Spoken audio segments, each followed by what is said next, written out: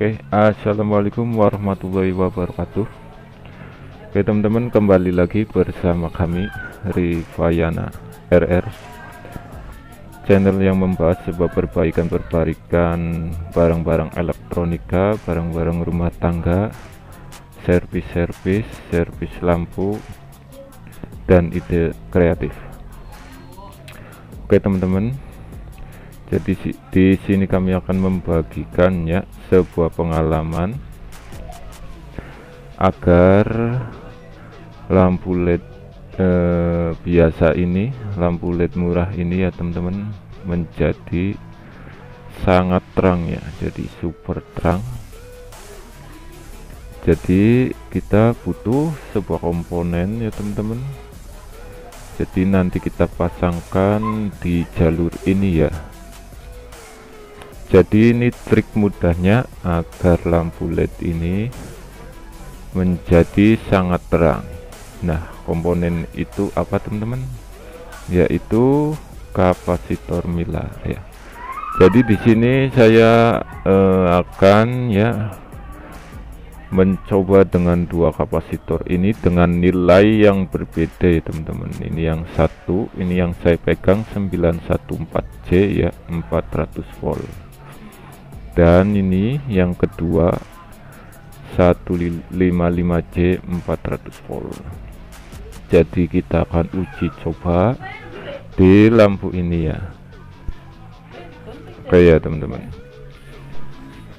Oke teman-teman ya. Uh, kita akan ya mencoba dengan dua kapasitor itu dengan ukuran yang berbeda. Dan perlu teman-teman perhatikan ya teman-teman. Jadi eh, nanti nyala lampu lednya ya teman-teman. Perhatikan. Eh, awal dengan awal sebelumnya kita pakai kapasitor tambahkan kapasitor itu ya teman-teman dengan sebelumnya ya. Oke teman-teman jangan lupa like and subscribe nya jadi kita langsung ke tahap percobaannya ya teman-teman biar eh, lenggarangannya hilang ya. Oke teman-teman mohon perhatiannya. Dan jangan lupa like and subscribe nya terima kasih banyak. Oke sekarang kita coba mana yang mantul ya teman-teman. Nah ini sudah menyala. Nah di sini saya coba ya. Coba memakai 914C dulu teman-teman. Perhatikan teman-teman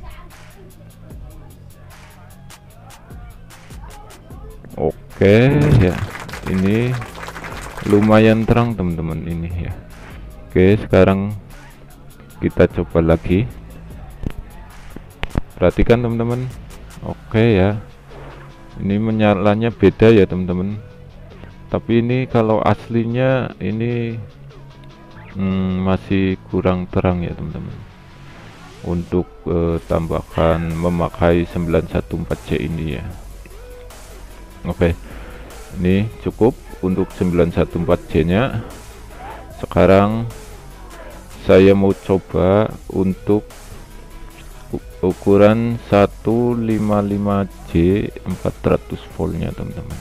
Nah apakah nyalanya sudah terangnya sudah cukup ya? Oke teman-teman mohon perhatiannya. Perhatikan. Oke Oke teman-teman ini mantap sekali. Nyalanya sudah sangat terang banget. Perhatikan teman-teman. Oke ya sangat terang banget dan masih standarnya ya teman-teman. Perhatikan ya. Oke sangat terang banget ya. Jadi kita akan memakai kapasitor ini teman-teman. 155C ini ya. Jika melebihi jika terlalu terang atau kurang ya kita bisa naikkan turunkan ya untuk nilai kapasitor ini ya teman-teman. Jadi seperti itu teman-teman caranya ya. Sekarang kita proses ke tahap pemasangannya. Jadi pasangnya di mana sih ya? Pasang kapasitor ininya itu di mana ya teman-teman? Oke teman-teman simak terus video ini sampai selesai. Terima kasih banyak nah untuk led abal-abal ini ya led murah ini ya. Jadi kita akan pasangnya paralel ya dengan kapasitor merah hati ini ya. Jadi eh, sesuaikan ya teman-teman. Kaki-kakinya ya. Nah jadi di sebelah sini teman-teman ya cara pasangnya ya. Nah jadi di sebelah sini ya. Kita paralelkan ya teman-teman. Oke teman-teman eh, kita langsung saja ya ke pemasangannya ya teman-teman. Dan nanti kita coba lagi ya. Oke sekarang ini kita solder dulu ya teman-teman. Kita pasang dulu ya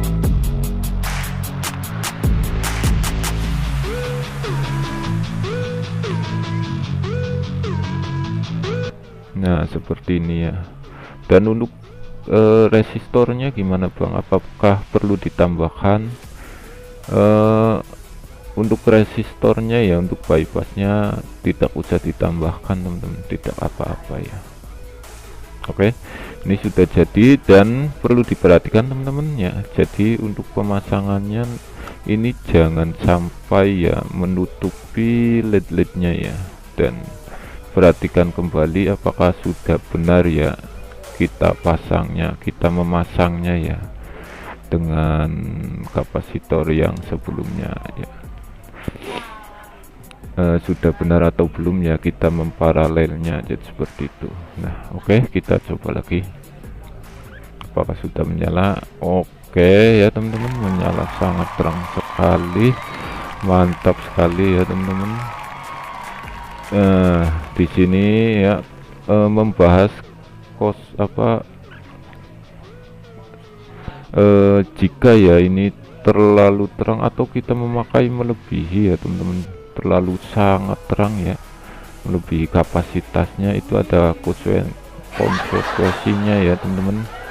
Jadi kita nanti perlu hedging ya dan thermal pastanya ya jadi seperti oke set, uh, kita coba pakai tutupnya. Oke ya masih tetap terang sekali ya teman-teman. Terima kasih banyak. Oke terima kasih teman-teman. Semoga bermanfaat dan ada manfaatnya. Sampai berjumpa kembali. Thank you